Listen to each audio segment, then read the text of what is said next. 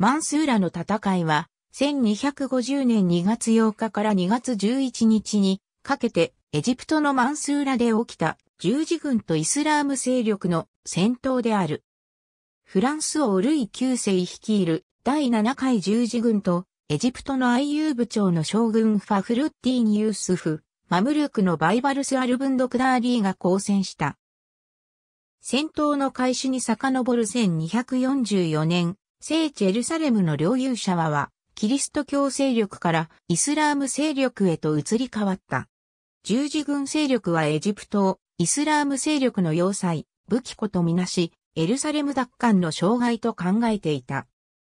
1245年の第一リヨン公会議において、ローマ教皇インノケンテウス4世は、ルイ9世が準備を進めていた、エジプトの攻略とエルサレムの奪還を目的とする十字軍への全面的な協力を約束した。また、第一義四公会議においては、ヨーロッパに勢力を拡大するモンゴル帝国への対策も協議され、モンゴルの君主に改修を特使者の派遣が決定された。対イスラーム諸国の同盟を提案し、東西からのイスラーム勢力の攻撃を試みた。1246年に教皇が派遣したプラノカルピニのジョンとベネディクトはモンゴル帝国のハーングユクに謁見するが、グユクはキリスト教世界からの死者に対して、教皇が直接モンゴルの宮廷に出頭し、真珠を誓うよう返答した。十字軍を乗せた艦隊は、英軍イコールモルトとマルセイユから出港し、1248年秋にキプロス島に到着する。キプロス島において、ルイ9世は、モンゴル帝国の使者と面会し、返礼の使者をモンゴルとイランに派遣した。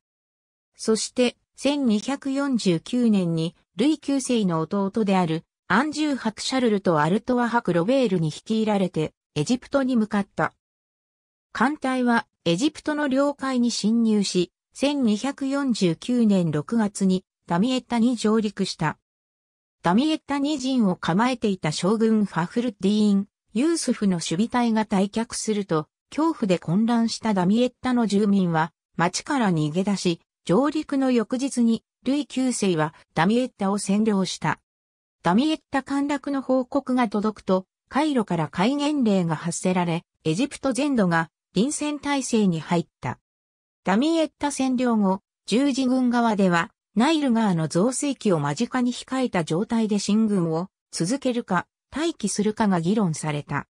アイユー部長のスルターン・サーリーフは十字軍にダミエッタの返還を条件としてエルサレムの譲渡を申し出たが、十字軍を主導していたフランスの王侯は提案を一周し、カイロへの進軍を決定した。ナイルの増水期をやり過ごすことが決議され、皇族のポワトゥー伯アルフォンスが十字軍に合流した。ナイルの減水期を待ったルイ9世は11月下旬にカイロに向けて進軍を開始する。一方、サーリーフは病を押して出陣し、ダミエッタの南西 70km の地点に位置するマンスーラに布陣した。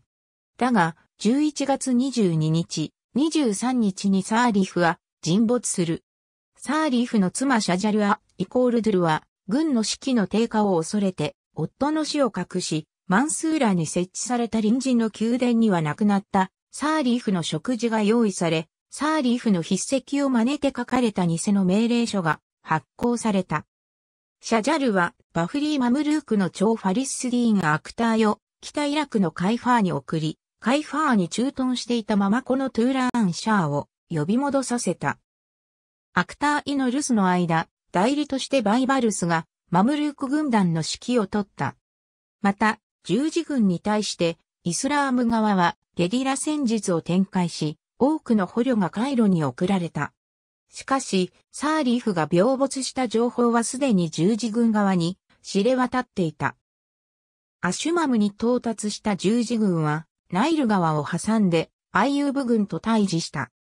ルイ9世は、トカに苦慮し、船舶を解体した材木を使用して橋を架けたが、なおもとかは困難を極めた。